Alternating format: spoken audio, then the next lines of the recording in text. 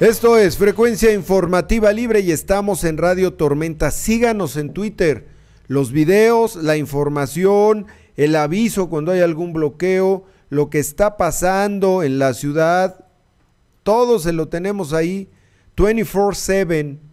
O sea, 24 horas al día, 7 días este, de la semana. Ahí, ahí está, nada más para que usted reciba y cheque. Síganos en Twitter, la cuenta es arroba Juan José Rosales, todo junto y con minúsculas, arroba Juan José Rosales. En Facebook estamos, búsquenos como Frecuencia Informativa Libre.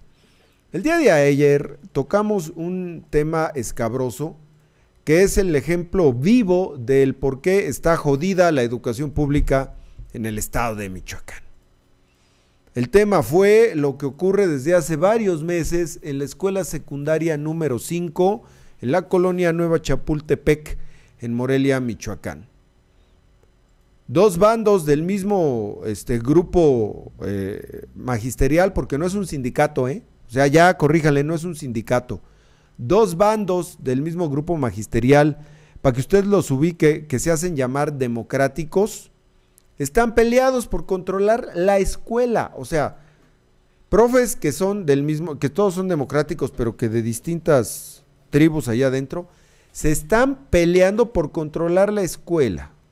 Bueno, esta pelea ha llegado a tal punto que uno de los grupos decidió, para molar al otro, soldar, así, así como lo oye, soldar las puertas de la dirección y del administrativo.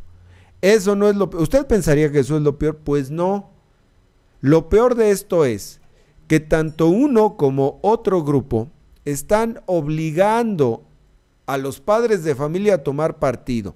O te vienes conmigo o estás contra mí. Eso no es lo peor. ¿Usted pensaba que no? Todavía no. Y lo peor de todo esto es que los niños que acuden a esta secundaria, los jóvenes que acuden a esta secundaria, llevan ya varios meses sin clases, teniendo, este, llevando una formación académica irregular debido al pleito estúpido que traen los profesores en esta escuela.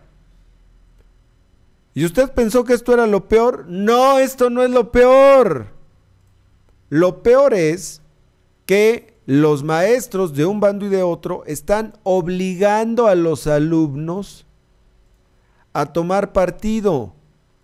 Y si no jalan con unos, los están amenazando, los están castigando, los están agrediendo. Y si jalan con los otros, igual, amenazas, agresiones y castigo para los alumnos por no estar de un lado o de otro. Y usted pensó que esto era, no hombre, eso no es lo peor.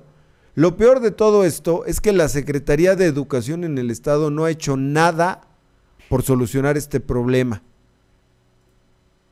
Esperamos que el gobierno del Estado, que el propio gobernador Fausto Vallejo Figueroa, ya haga algo y pueda mostrar como ejemplo lo que ocurra con los profes, porque maestros, no, el maestro es algo, no, con los profes esos que traen este borlote, que los pueda mostrar como escarmiento para que en otras decenas de escuelas que existen con el mismo problema en el estado de Michoacán, ya le midan el agua a los camotes. ¿Eh? Y agárrese cientos de visitas, sí, cientos de visitas a nuestro canal en YouTube, Phil Comunicaciones, demuestran el interés que la sociedad tiene en estos temas. El video, si usted lo quiere ver, el que subimos ayer se llama Maestros amenazan y agreden a alumnos en la secundaria número 5. Las propias madres de familia dan testimonio de que esto está ocurriendo en la secundaria 5 en Morelia. Mire, tenemos un testimonio. ¿Y qué es lo que quiere exponer? Yo necesito exponer que hacer un llamado a las autoridades correspondientes, a las locales y a las eh, internas, finalmente internas y a las locales, porque los conflictos que se están dando entre los maestros está afectando a nuestros hijos muy severamente y los está llevando a la quiebra. No es justo que por sus, por sus conflictos internos se estén llevando entre los pies a nuestros hijos. Los confunden, los manipulan, los están aterrorizando utilizando, manipulándolos para que hagan, tomen parte de, su partido y no es justo. Nosotros venimos a exigir que, sean parciales, eh, que sean este, neutrales, perdón, con los derechos de nuestros hijos. No estamos de acuerdo en que estén faltando el respeto al derecho de nuestros hijos, porque nuestros hijos son los más afectados. El testimonio de una madre de familia, ahí mismo en la secundaria 5, aterrorizando, obligando a los alumnos a tomar partido. ¿Qué tal? ¿No le bastó? Vamos a escuchar otra madre de familia. Sí, María Antonieta Sánchez. Ok, este... Mire, aquí lo más penoso y lo más vergonzoso ¿sí? es que hayan tomado lo más vulnerable de la escuela, que son los alumnos. Entonces, simplemente de esos dos sindicatos que hay, ¿sí? no deberían por qué tomar como si fuese una, a tomarlos como fuerza para poder sacar a alguien cuando ese es problema, simplemente. ¿A quién quieren sacar? Al director. ¿Quieren sacar al director? me, estaban diciendo los alumnos que los han obligado a tomar partido, que hacerse... Exactamente, exactamente. Y eso no es válido, es lo más vulnerable. ¿sí?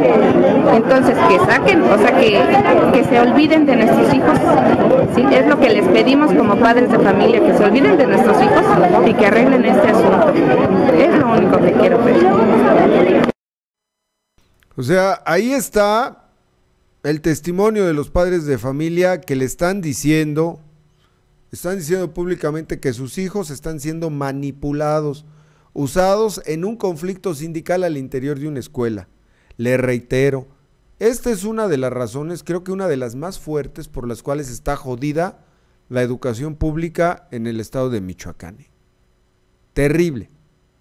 Pero mire, anda siempre muy bien vestidito. Creo que este, después en la tarde o en la noche el señor director de la escuela se iba a ir este, al Salón México o al California, porque andaba así como que disfrazado de califas. Pero bueno, también platicamos con el director. El director ni se ha dado cuenta de que hay agresiones a los estudiantes. Bueno, ya sabemos que se hace tarugo, que hay agresiones a los estudiantes, que no hay clases, que quién sabe. El director dice que sí hay clases, que todo está a toda madre en la escuela secundaria 5. Que hay un problemita ahí, pero que ya se está arreglando. ¿eh? Pero mire, escúchalo de, de voz del director de la secundaria 5 aquí en Morelia. Eh, Felipe Rivera Sagrero. Usted, usted es el director de la Escuela Secundaria Federal número 5. Así es.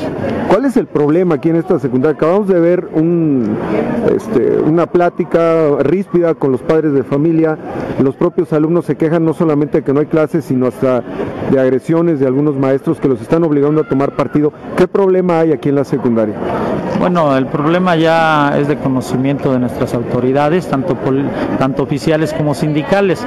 El problema aquí es de, años atrás, años atrás y, bueno, pues eh, sigue la misma problemática de dos grupos como en todas las escuelas, pero pues ahora como que la, la situación, como que el conflicto como que se hizo más. ¿Dos grupos se refiere a los grupos sindicales? Sí, dos grupos, pero pertenecen a la misma sección 18 democrática. Ah, o, sea, o sea, son dos mismos grupos de los propios democráticos. Sí, así es. Entonces, este, aquí el problema es político sindical. Eh, que bueno, pues se equivocaron al tomar las oficinas administrativas porque nada tiene que ver con los intereses que tienen estos dos grupos. Y bueno, afortunadamente ya el, la sección está tomando cartas en el asunto y yo creo que entre mañana y el lunes ya dan una solución porque ha llamado a las partes y ha estado en diálogo con las partes y el maestro Juan José, eh, el líder de nuestra sección, Juan José Ortega, eh, ha llamado a las partes y él personalmente está tratando de que esto se resuelva favorablemente. ¿Desde cuándo no hay clases, maestro? No, sí hay clases. Ahorita eh, fue la situación de que llegaron padre familia inquietos, porque bueno, pues, pues tienen razón en, estar inquietos porque se mandó un comunicado de parte de un grupo. Hay comunicados que mandan a eh, un grupo y luego otro es guerra de comunicados, pero no de la parte oficial. Un comunicado donde les decían que sus hijos iban a perder el año escolar. Y bueno, pues eso en ningún momento en ningún momento se les dio ese argumento por parte de la dirección de la escuela. Sí, oiga, este maestro, entonces si sí hay clases, ¿por qué están aquí los padres de familia? Porque propios alumnos y padres de familia han mencionado que varios maestros no se han presentado a trabajar o no entran a los salones y que hay este, mucho desorden al interior de la escuela. Este, ahorita sí se vio desorden por la misma situación que estaba, usted se dio cuenta, ¿no? Pero se está trabajando en forma regular, sí, eh, con sus excepciones, pero sí se está trabajando, hay voluntad de las partes en que esto se solucione.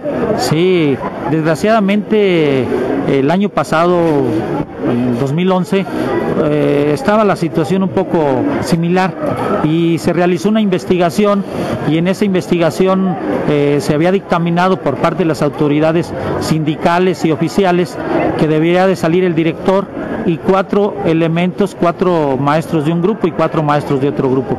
Desgraciadamente no se acató ese dictamen y nada más salió el director. Mm. Entonces el problema siguió, no se, no se atacó de raíz.